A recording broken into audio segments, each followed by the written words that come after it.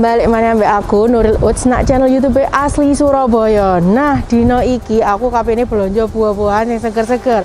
Nak buriku iki ono nang Geofresh. Aku lagi ono nang Geofresh. Alamat alamat enak Jalan Dharma Usada Bar 1 nomor 3. Nah, geofresh iki sekilas saya tak cerita no. Iku uh, buah-buahan teko petani rek sing iso dinikmati adewe langsung di meja adewe kayak. Jadi tetep petani. Jadi kok adewe iso nikmati iku iku adewe iso belanja buah atau adewe iso kepengen diolah jadi dessert atau minuman atau jus atau apa pun. Lah, penasaran? Langsung email aku menjadi ojo lali like, comment, subscribe channel YouTube Asli Surabaya. Yuk!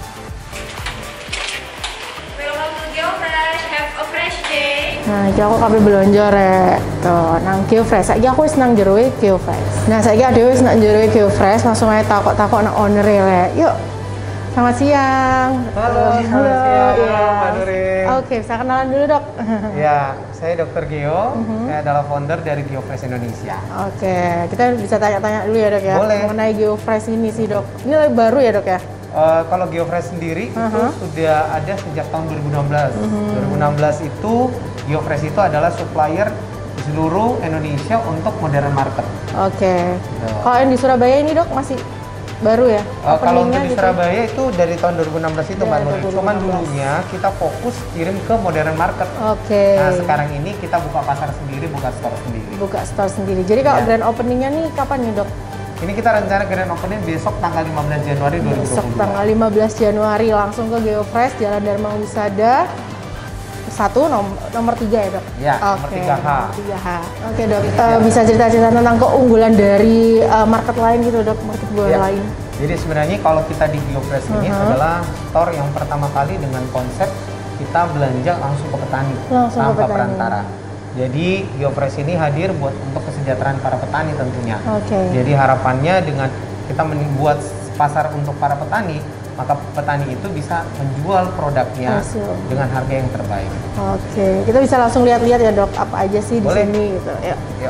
Nah dok, ini aku lihat-lihat tadi di sini kan ada buah yang unik ini loh, buah naga ya. kuning gitu ya. dok. Jadi buah naga kuning ini sebenarnya adalah buah naga yang dulunya uh-huh. Indonesia kalau mau konsumsi harus impor dari luar. Iya. Nah sekarang ini untuk buah naga kuning sendiri oleh petani dari Geofresh udah itu udah mulai dibibitkan okay. dan udah mulai ditaman, ditanam di daerah Jawa Timur. Hmm, jadi ini susah ya dok ya kayak cari ya, ini dok. Ini adalah salah satu produk yang kita katakan kalau di Geofresh ada namanya forbidden fruit. Forbidden nah, fruit. forbidden fruit itu berdasarkan filosofi dari uh -huh. orang jadi kalau kita mau konsumsi buahnya, uh -huh. nah nanti kita bisa tahu tentang buah dan jenis-jenis buah yang memang jarang untuk dilihat di jarang modern market. Iya betul. Oke dok, kalau di sekitar sini tuh ada apa aja dok dan range harganya tuh berapa biar teman-teman nah, tahu? Sebenarnya sih kalau kita bicara di untuk di stasiun ini ya, uh -huh. di sini tuh untuk khusus di Geofresh itu untuk makan durian yeah. itu iya. harus masak pohon. Jadi harus masak pohon. Jadi kita memang dengan petani kita sudah punya standar. Mm -hmm. Jadi kita nggak boleh panen yang namanya dipetik, tapi mm -hmm. harus tunggu dia matang dan diturunkan satu persatu seperti durian ini. Okay. Nah, durian ini start from 90.000 hmm, untuk per kilonya. Okay. Tetapi ini kita ada garansinya. Biasanya kalau kalau nggak manis, gitu. kalau nggak manis, warnanya nggak kuning, uh -huh. warnanya orange, kita kembalikan. Oh gitu. Ya. Selain itu dok, hmm. ada apa lagi? Nanas ini gede-gede banget ya? Ya, ya? jadi kalau ini nanas yang dulunya kita kenal namanya nanas madu. Nanas nah, madu. nanas madu itu kan biasanya size kecil-kecil. Iya, kecil-kecil. Nah, kalau di Geofresh ini karena petaninya sudah mengerti standar yang kita kembangkan. Jadi kita berharap bahwa Gede customer banget. itu bisa mencoba nanas-nanas seperti ini. Nah, gede, gede banget, banget ya. Iya, gede banget. Nah, ini pasti puas ini, Mbak. Karena wow, kalau konsumsi gini kan gede banget. Nah, jadi bisa konsumsi untuk satu keluarga. Satu keluarga Dan rasanya aja. manis. Manis. Oh, okay. manis banget. Madu ya, Dok ya? Ya, ini nanas madu, nanas jadi madu. rasanya manis. Terus daging yang di tengahnya atau jantung dari nanas itu bisa dikonsumsi karena oh, dia bisa tidak dikonsumsi. keras. Ya. Biasanya kan keras ya, ya? Ya, biasanya keras dan itu adalah bagian buah nanas yang paling kan, tinggi kandungan proteinnya. Yang di tengah itu? Iya, betul sekali. Oh, mau tahu visinya Geofresh itu apa sih dok? Nah, kalau kita memang kita berkomitmen hmm. untuk mendukung para petani.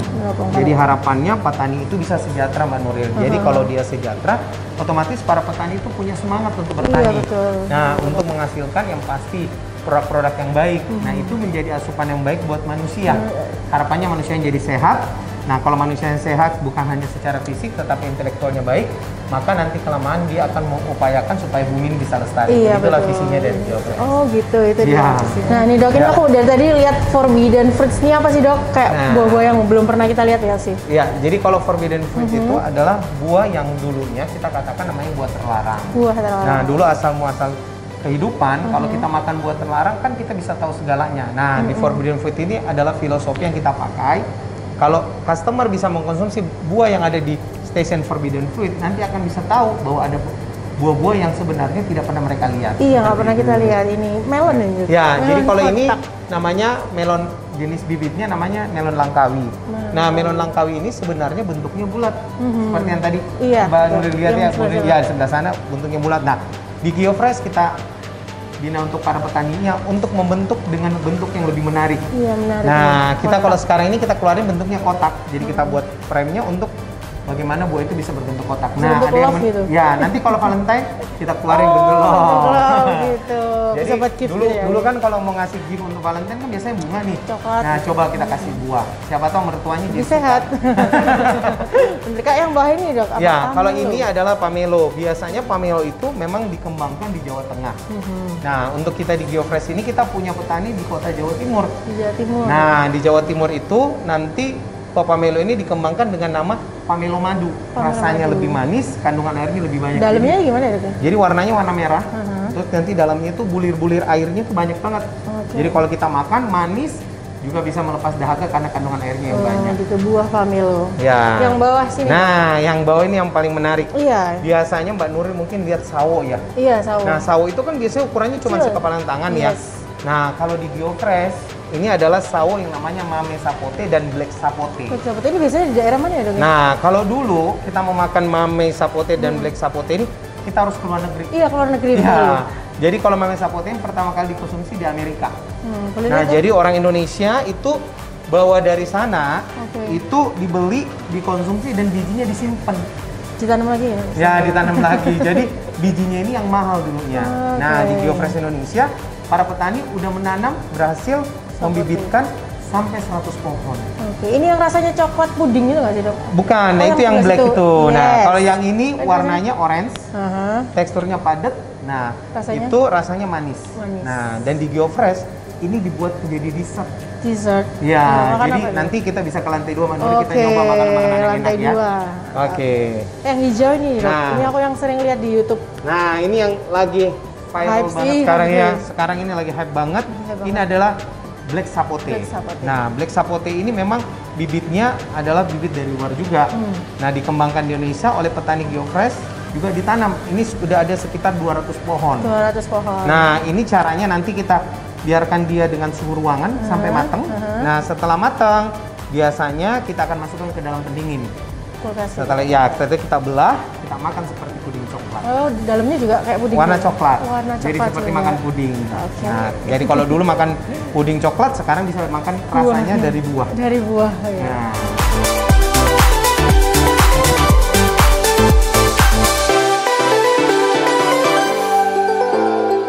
Kalau yang di sini dok, ini nah lihat-lihat. kalau di sini kita menyiapkan untuk buah-buah impor. Buah-buah impor. Jadi memang customer kita khususnya Arek Surabaya Mhm. itu biasanya sering mengkonsumsi buah-buah impor. Nah, kita Oke. udah ngasih satu station di sini untuk buah-buah impor, makanya harus menggunakan pendingin. Oke. Nah, tapi Mbak Nuri tahu nggak kalau di sini ada yang menarik. Apa iya? Nah, Tuh. lihat nggak ini yang berduri? Iya ini aku lihat ini Nah, kok yang kecil-kecil banget. Ya. Itu gimana dok? Jadi ini adalah jenis durian yang dikenal di mancanegara yang namanya Uh-huh. durian hanjau. Durian kanjau. Nah, itu dari bahasa Thailand, Mhm. artinya Artinya? tangkainya panjang. Tangkainya yang panjang. Ya, jadi Oke. biasanya durian kan tangkainya pendek ini Pendek. lebih panjang. Nah, keistimewaan dari durian ini karena durian ini sekarang itu ternyata setelah kita cek DNA dari Mhm. pohon durian dari kebun kami yang ada di Jawa Timur, ternyata itu DNA-nya sama dengan yang ada di Thailand sana. Oh, begitu. Jadi bibitnya ini adalah bibit asli Indonesia ternyata. Asli Indonesia. Tetapi diberi nama oleh negara lain dengan nama Kanjau. Tapi manis ya sih dok? Ini bentuknya memang kecil, Iya, betul. tapi nggak usah takut karena bijinya juga kecil. Oh, bijinya kecil, Jadi dagingnya. dagingnya tebal dan ini warnanya orange. Orange. Jadi kayak kayak durian-durian itu. Iya, durian-durian yang lagi happening itu yang warna orange seperti itu dan memang rasanya manis. Manis banget. Dan ini memang adalah panen terakhir. Panen Jadi setelah terakhir. ini durian kanjo udah tidak Jadi ada kayak berapa tahun sekali dok? Masa Ini sepuluh bisa tahun? setahun sekali. setahun sekali adanya. Ya, jadi kita Oh, akan langka, manis guys. ya jadi cukup langka. Ya dok, ini aku salah fokus Ya. sama yang atas ini dok. Kok banyak sawo dok di sini. Nah, ini sawo yang tadi kita lihat ya namanya mame sapote. Nah, mame sapote ini kalau udah matang Mbak Nuril memang lebih baik disimpan di pendingin. Oke. Karena itu bisa memperpanjang waktu proses Simpannya gitu. penyimpanannya jadi tidak cepat busuk. Nah, Oke. di sini juga kan Mbak Nuril lihat ada sayur-sayuran. Iya, ada Jadi di sayur-sayuran. Biofresh itu bukan hanya buah, Mhm. tapi ada juga sayur-sayuran. Dari petani juga ya dok. Ya, kita langsung dari petani. Nah, ini kita ada beberapa petani yang sudah mulai mengembangkan namanya tanaman sayur hidroponik. Oke, hidroponik. Ya. Dok, kalau misalnya Ya. pengen buah ini aku makan di sini langsung itu bisa nggak sih dok? Boleh, tetapi untuk buah-buah yang ada di sini Mhm. kita ada ruangan namanya ruang station untuk sampling atau ruang sampling. testing ya. Jadi kita bisa pilih buahnya, Mhm. nanti kita bawa ke lantai dua. Ke lantai di sini Nuril saja kita ke atas ya. Oke, langsung aja. Penasaran kan? Langsung ke lantai dua. Yuk.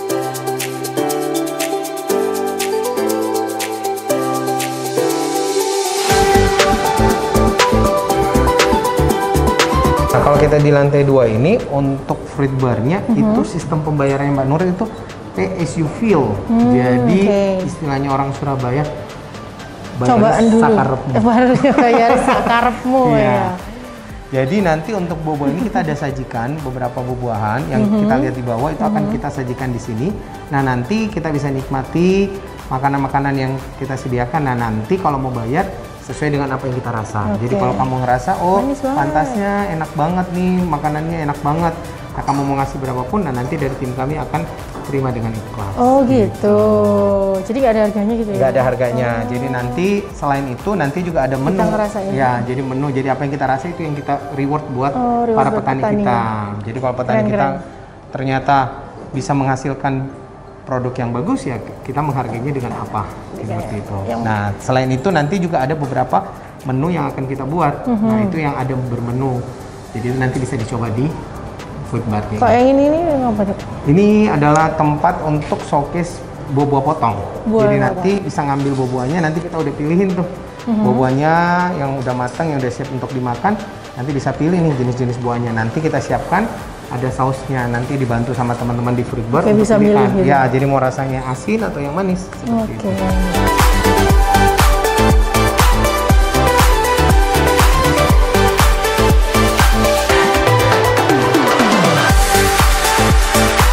Ini dok, di depanku ini ada olah-olahan yang buah-buahan tadi kita pilih ya dok. Betul sekali. Oke, apa aja nih dok?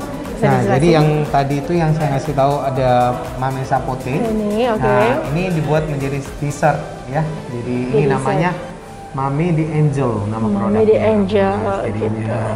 Kita jelasin lagi ya, kalau di sini itu uh, untuk paymentnya gimana dok?